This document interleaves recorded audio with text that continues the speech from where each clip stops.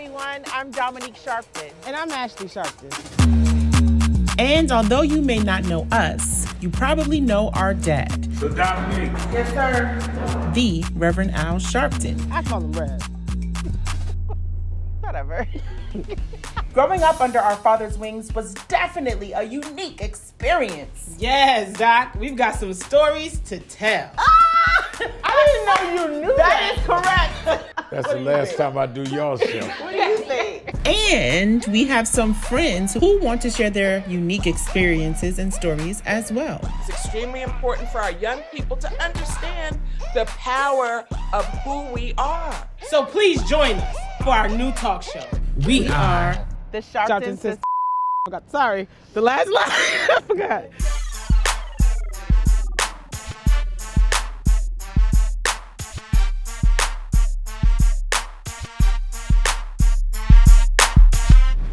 Welcome everyone to the Sharpton Sisters. Today we're talking about being the children of activist parents. Dominique and I are well acquainted with this experience. It's a source of pride for us, but make no mistake, it can also be difficult and not something many can relate to. Our guest today is the daughter of Malcolm X and Dr. Betty Shabazz, a family whose politics and actions are representative of a very crucial time in our civil rights history. Please welcome Ilyasah Shabazz. Hi, Hi. Yeah, I know you didn't expect me to look like this. Ilyasah! Ilyasah, how are you doing, girl? I'm fine. How about you, beautiful young lady? we're, we're Doing well, hanging in there. considering, We're yeah. good. We're good. We're lot- good. A lot going The on. backdrop, I like the flowers. Like, Thank you so um, much. Thank yes, you. I Thank like you. the Thank gold and the red, everything. You guys are just like really, really doing it. Yes. Thank now you. we know that you have five other sisters, but That's we're right. also your little sisters. We claim you as our big sister, and you know things that has brought us together in many different capacities, many different facets. Uh, but we always looked to Ilyasah as one of our big sisters. Of course. Something that many people do not know is that your mother, the queen, Dr. Betty Shabazz, is our godmother. Yes. Um, and she was responsible for so many things in our life, but most importantly for putting us in private school and making sure that our parents understood um, how to protect us and basically teach us in the proper way. She was a real guiding light to my mother and to my father Yes. in many different ways. Um, And to it the just- movement as a whole. Yes, and it just speaks volumes. I feel like we can't, you know, pay tribute or homage to Malcolm X's legacy without mentioning and paying homage to Dr. Betty Shabazz. That's right. That's right. You know, I have to say, even when I think about it, right? Because my mother had six girls, right? She's the wife of a man who challenged a government that was historically unjust. And mm-hmm. witnessing her husband's assassination, living through a, her home being firebombed, and taking care of six girls that she was still so filled with love and compassion and care that she wanted to make sure that Reverend Sharpton and Kathy Sharpton's girls were properly educated. And when I say properly educated, I mean, you know, we're so fortunate that we had parents that made sure that we knew who we were as uh, women of the African diaspora, right? Of uh, being just women. Uh, So many things. We learned about our heritage, our culture, our, our identity, which fortified who we were, gave us a great foundation, our identity, purpose, but also making sure we had a quality education. And usually, uh, a quality education, you know, was not afforded by a lot of people who looked like us. Talk. Right. And so I always take my hat off to my mother because, you know, in our household, there were six girls that she put through, you know, this kind of schooling, providing all of these activities, extracurricular activities, and so forth. But then also we had Nina Simone's daughter who lived with us, Lisa, you know, who we mm. called sister number seven, and you two who were like sister number eight and nine. Absolutely. She was a phenomenal woman. a phenomenal, amazing And rarity. woman. Now everybody knows this. You know, if you if you know history, Black history, then you know, of course, the story of how Malcolm X was assassinated. And you were just a toddler when uh, this happened, right before your eyes. Um, but can you talk to us about how exactly you learned about your father and his work, and you know how did you actually learn about that? Because I know it was you know definitely difficult to grow through that. But you were just a baby, literally, when this happened. So how did you grow to learn through you know what Malcolm X did and what he was all about? Great questions, ladies. You know, you guys know Malika and Malak, my youngest, beautiful twin sisters. Yes, Yes. that's my that's my sisters. Right? Even if you ask Malika and Malak, Malika passed away, God bless her. But, you know, I still, you know, talk about her as if she's still here with us.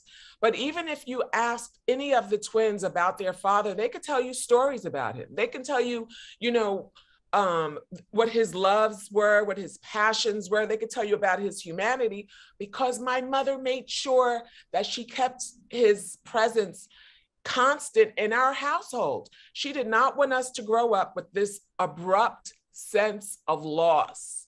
You know, she did not want us to grow up with us feeling that our father left us or our father didn't love us. And so my mother had daily conversations about daddy, about her husband, you know, what he would like, what he wouldn't like. But most importantly, we knew his value system. I came, I should say, I came to understand when I went to college that my mother safeguarded her husband's legacy because it was so, as I discovered, it was so inaccurate. And I think a lot of people are discovering that now. Yes, Miss Darling Ashley. So I want to stop you right there. At what point in your life did you, you just mentioned college, but at what point in your life did you start learning about your father as Malcolm X, as opposed to him as your father? When did you start understanding? Because it took a while for me to understand Reverend Al Sharpton as Reverend Al Sharpton, as opposed to my father. That's right. And you really remind me of your father, Ashley. I- you are like, you better go ahead. You're like, I'm sorry. And, you know, I think it's so beautiful because you learn much about who your father really is, who your mother really is by, you know, you young ladies and you, you know, just dynamic. And so I think what you also do um, is you bring such love and validation of your father, you know, to others, you know, just by the way that you present yourself, the work that you do, your passions and so forth. I learned about my father, the icon when I went to college. And it was really, really, really, it was so difficult, you know, because of my childhood. My, I, we grew up in a bubble of love. My mother was like everything. She was kind, she mm-hmm. was loving, she was trustworthy, she was cool. You know, she used to send me flowers in a box. She would send me, you know, like I would get, you know, like you see on television, you get the clothes in the box, you open them up. You know, she was just so amazing. She was one of a kind. She was so amazing. And and and she wanted her girls to grow up and understand what love was. Because if we did not know love, right? If we didn't know love in our household, we certainly aren't going to know love when we go out in the street. We certainly aren't going to know love when we see, you know, injustice. We're not going to lend ourselves. And, and that's just like what you girls do. You lend yourselves to the causes nonstop. I am a witness. You guys are amazing. And so that's why it's so nice to see your your women your womanhood, you know, because sometimes we just want to like you know have flowers we want to curl our hair a little bit you know we want to put on some nice smelling perfume we don't want to be out there fighting Soft life. When we come back, we're gonna get a little deeper about Just Ilyasah. Stick around. We'll be right back.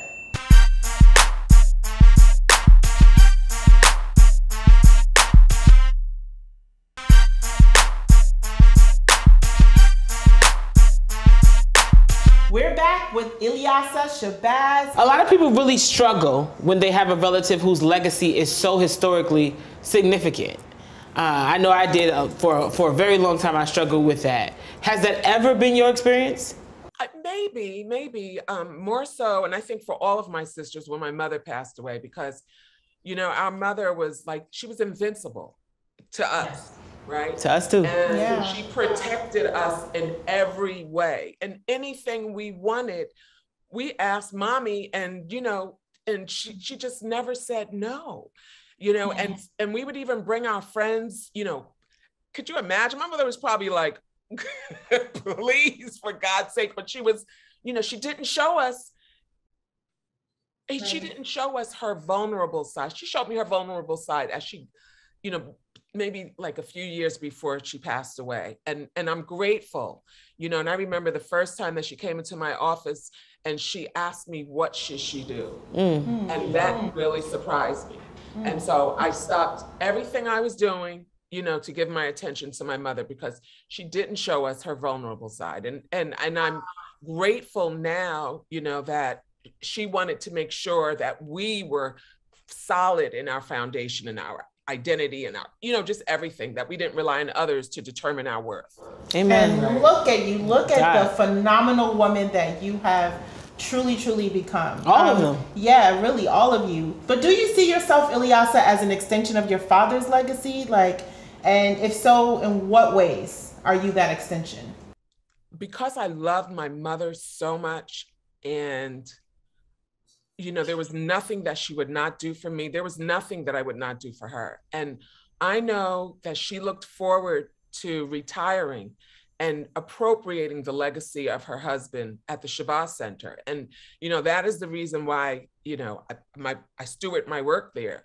You know I do everything that it takes to make sure that the, the center is truly operational and that it's going to be a resource to to communities here and and far because people all over the world are attracted to Malcolm and we want to make sure you know that we're uh, util- utilizing that fully so i would say um, you know I, I'm, I know that I'm a lot like my mother. Everyone always tells me, but then I, I know that there are so many parts about me that's like my father. You know, Yes. Yes, yes, Yes. But speaking of the Shabazz Center, the Shabazz Center, in the wake of the past few years and the continued struggle for racial justice, how do you see your father's imprint in the midst of all of that? Well, let's see. You know, first of all, people try to write him out and pretend like he- that he didn't make this significant contribution, right? He made a significant contribution because remember in the 60s, we weren't sure who we were. We thought we were Negroes. You know, mm-hmm. 1950s, people marching, demonstrating, protesting, just as they, you know, do today. My father came along and said, we demand our human rights as your brother. There's no asking. We demand our human rights ordained by God. So he was not fearful, right? Because he served God. He was led by his service to God. And and and um so he introduced a human rights agenda for the first time to the civil rights movement. Wow. So my father made a significant contribution. And when people um, would see these um, images of him that were created by others, instead of realizing he had a profound reaction to this horrible, um, inhumane treatment by people you, know who who were a lighter complexion or or what by bigotry by injustice. He had a profound reaction to injustice against anyone you know and and he simply insisted that america live up to her promise of liberty and justice for all of its citizens Yes. I just must underline what you just said. He he introduced the human rights agenda to the civil rights movement.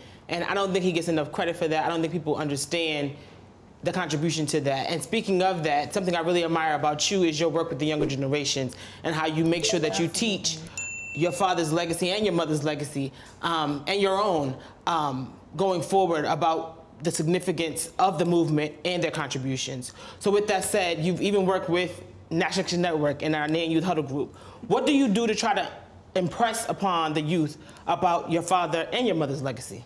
Well, you know, I think when we even look at our education curriculum, if we learn, right, first of all, you know, we're told that humanity, scientific proof, right, that humanity began in Africa, Say that. right? And so if that is the case, right, then let's learn about the kingdoms of Egypt, of Benin, of Ghana, of Mali, of Congo. Let's learn about these just as we learn about the ancient history of, of Roman Greece, right? Let's know that everyone made a significant contribution to history, not just white men landowners, right? But that Asians, uh, Native Americans, uh, Africans, that everyone made a significant contribution to history. And so our education uh, textbooks shouldn't just be based on one, you know, a, a white man. It should be based on all of the contributions that we've made, especially in this country. And then even when we take when we think about slavery, right? Had it not mm. been for our ancestors who were trafficked, right? Yeah. Who were who were targeted, whether they were here in the Americas or in Africa or wherever, black people, people of color, had it not been for all that they endured, the largest forced migration of a people in history of, of mankind, and being held in bondage in the manner, you know, that was done to human beings. And in spite of that, we turned this country into the, a land of milk and honey. Mm-hmm. So had it not been for our ancestors, we no one would have the opportunity to call the United States of America their home. And so we need to make sure that we are controlling the narratives like you ladies are doing, you know, and I think it's extremely important for our young people to understand the power of who we are so that yeah. we understand that we are worthy of self love, that we are worthy of quality education, that we're worthy to participate in mainstream the economy, right? And however uh, God has made us. Talk that talk, sis. now, I mean, just hearing you, I mean, you are phenomenal. And everyone is seeing Ilyasah Shabazz, and you carry such a heavy load with everything that you're doing. So tell us, because I think I know a little bit about you. So tell us, you know, just for kicks, what's your stress reliever, sis? Stress relief. Well, um, let me see. Stress relief, stress relief. You know, I really love the the ocean, the water. I'm I'm just such a fan of it. I need it. And I always like to pretend that I am someplace else when I'm really working. You know, I, I, I like to use my imagination. Um, but I love my girlfriends. I love my family um, yes. and young people. And we're a part of a, a, group called Daughters of the Movement. We mm-hmm. come together uh, with other like minded uh, sisters, daughters, granddaughters of those who have broken barriers and been really influential and prominent in the movement in different facets from funders to leaders to you know uh, to those who you know help to run uh, the, the behind the scenes and the process. All of this goes together. And we love to come together and have our dinners and share with one another. Um, and it's really really an amazing to me a stress reliever that i look forward to and really appreciate in my life. Um, and so glad to have you uh, to be a part of that with me Ilyasah um, and you know thank you so much for everything that you share and everything that you do um, you know, I, I, I, love you and I, I really, really appreciate you in so many ways. So, yes, I have another question. Um, so I know that you you are your father and your mother's legacy, but did you ever go through the process of wanting to define yourself outside of your parents' name? Mm-hmm. Absolutely, never ever. I love my parents so much. I can't tell you. I'm so grateful for you know all that they gave. Um, I'm so grateful that they were my role models um, you know, it, I I'm just so I, I have so much gratitude, and um, and I don't think there really is a day that passes where you know I, like that. I have photographs of them on my wall. I, they're just in my heart. The, my books, you know, me being at the Shabazz Center, um, all of that just fills me that's beautiful. So Absolutely. That's beautiful. beautiful. And speaking about the Shabazz Center and your books, what are the personal projects that you are most proud of? The personal projects. Well, my my favorite book, my most recent book is the yes, yes. Let's go. Show let's us. Go, show us. And and and let me tell you why I love this book so much. I was very, I mean, I, I was not going to stop until I did this book, because, mm. you know, my father, this whole notion of him being illiterate when he went to jail, and that he learned he came he walked out being an icon it's impossible right mm. you know because if that's the case then it means that we don't need the village right mm. we all need the village um, mm. had it not been for his mother and father when he did find himself in a corner he might not have been able to walk out as malcolm x the icon right his mother his father instilled specific values you know, they were two activists. His father was the chapter president of the Garvey movement. His mother was the um, recording secretary. And, and and you know there are many books that are being published by the work of his mother his Mm-hmm. father was the uh, was on the parent teacher association pta his father was a minister uh, his father was a landowner. And actually the home that he the land the home that he built he was told he could purchase the land because it was premium land reserved for whites only but he couldn't Wow. live on it. And he lived on it. And that's why the first home burnt down second home burnt down third home he was ass- assassinated killed. And his mother you know years later was put in an institution against her will family torn apart but thank god the values were instilled that when malcolm would become 13 he would be the president you know of his all white class he would be top of his class and and and, and you know and- That was it. That was it. Absolutely. Ilyasah, thank you so much for sharing with us this part of your life. It's so personal and yet part of something so much larger. When we come back, we have one final question with Ilyasah Shabazz.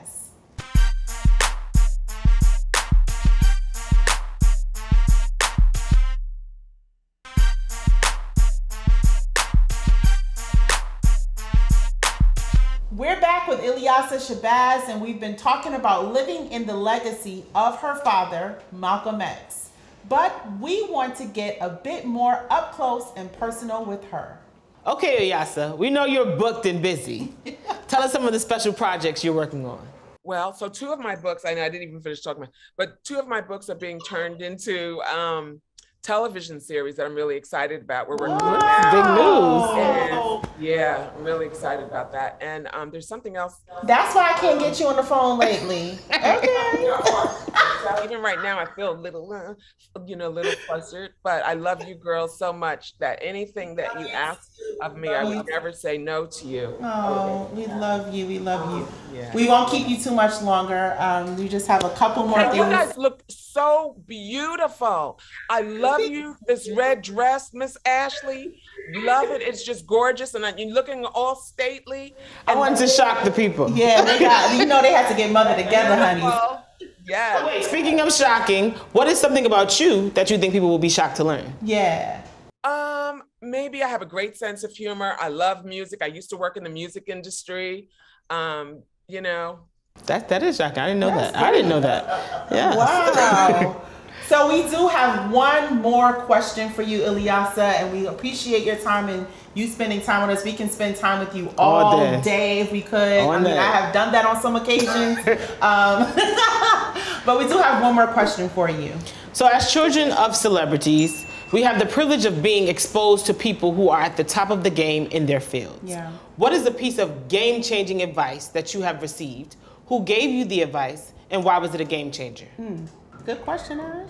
yeah, you better go, girl. And listen to the way she asked that question. I mean, my goodness, I'm like, oh. um, I learned from the best. uh, you know, that's that's funny. I think it it really is about this self love. Oh, my mother, I tell you. But even saying find the good and praise it, right? So that there is no victim complex. You know, mm. find the good and praise it. I if I had a victim complex, right, I mm. would not be standing in front of you now right? I would not be able to have a strong conversation with you as you young ladies, right? Because let's face it, you know, a lot of stuff has happened that we've endured, yes. right?